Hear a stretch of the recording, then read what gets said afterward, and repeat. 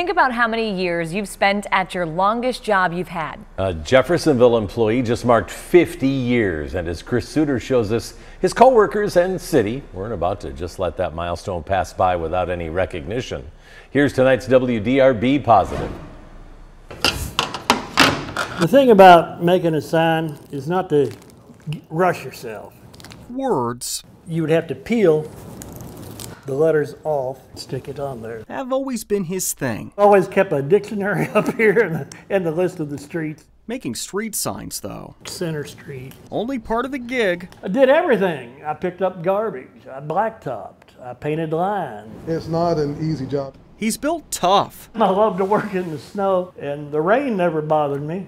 Uh, only the lightning. and he's been wearing the street department vest and hat for longer than any employee in Jeffersonville city history. I've never heard of anybody that I know of that's been somewhere 50 years. Meet Allen Fetter. They call me Alley Cat, and don't ask how I got that name. You know I did. I was just in an alley one morning kissing a girl, and um, a guy I worked with seen me in the alley, just a little. and I come into work that day, and he said, "Your name's not Allen, it's Alley Cat." Oh my, the lucky gal? His bride. They were newlyweds back then. But the story is legend and the name stuck. Somewhere through the laughs, I've never ever seen him mad. He laughs all the time. Alley Cat became He's more than a, a coworker to me.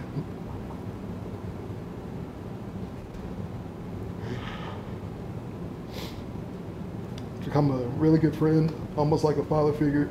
there with advice or to offer those words he's so good with. We've become family. I feel over the over the years. He's shown everyone how to live a meaningful, hardworking life by example. You just be thankful for each day, and that's what I always was, and always will be. So when he decided marking five decades on the job was the sign he needed to call it a career, If I had good legs now, I'd still be here.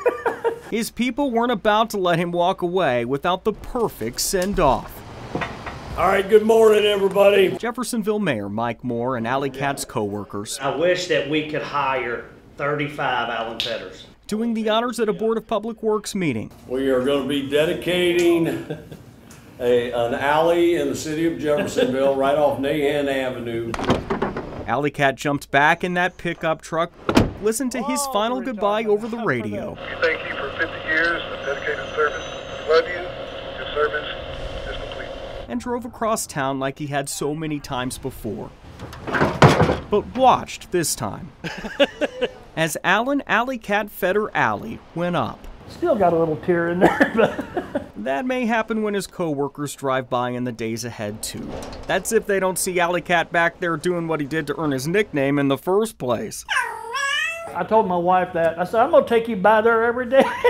Smooching and laughing. Not a bad way to spend retirement. In Jeffersonville, Chris Suter, WDRB News.